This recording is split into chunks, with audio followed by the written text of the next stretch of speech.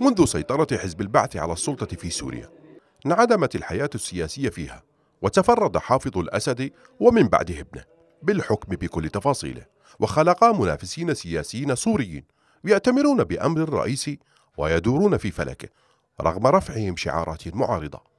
بعد انطلاق الثورة السورية عام 2011 بدأت تظهر تباعا أحزاب وهيئات وتجمعات سياسية من مختلف المكونات السورية تحمل أفكارها الخاصة.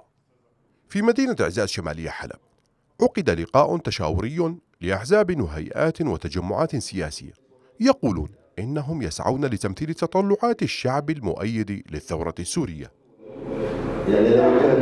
نحن بدأنا الإعداد لهذا اللقاء التشاوري منذ ستة شهور وعقدنا اللقاء التشاوري الأول في الشهر التاسع من هذا العام. وحاليا نعقد اللقاء التشاوري الثاني للأحزاب والقوى السياسية الموجودة في الشمال السوري المحرر وعددها ما يقارب 20 مكون.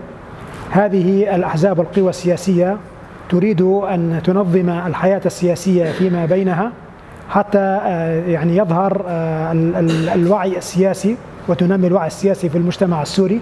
نحن في تجمع بناء سوريا نلتقي مع مجموعة من الأحزاب والتجمعات والحركات في اللقاء التشاوري الثاني من أجل بناء تجمع وطني ثوري. هذا التجمع الوطني الثوري مهمته تشكيل جسم سياسي ينطلق بهذا العمل من أجل تمثيل الثورة السورية حق تمثيل.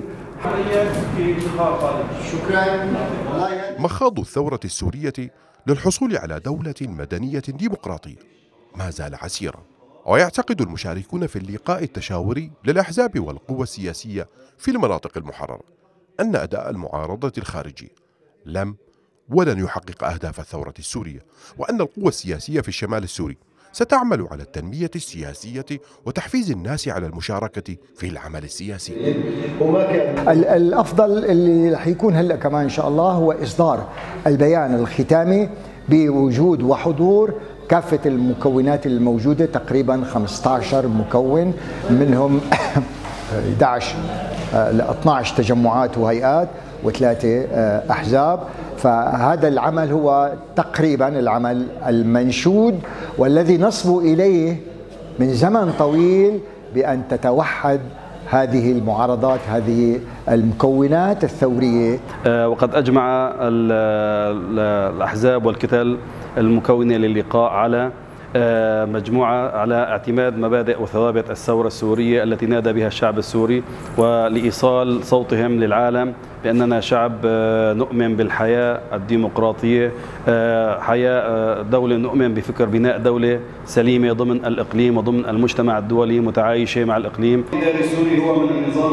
تعقيدات المسألة السورية تعاظمت تباعا منذ أن قرر النظام التصدي للثورة السلمية بالسلاح. وتراجع الحديث عن الحلول السياسية وانكفأ السياسيون وتقدمت المدافع على السياسة وتعقد المشهد أكثر فأكثر مع ظهور تنظيمات متطرفة وتدخل دول إقليمية وقوى عالمية في القضية السورية فهل سيتمكن السوريون في المناطق المحررة من خلق قوة سياسية تستطيع تغيير الواقع الحالي ونقل البلاد لحالة الاستقرار السياسي والاقتصادي وإنهاء الحروب؟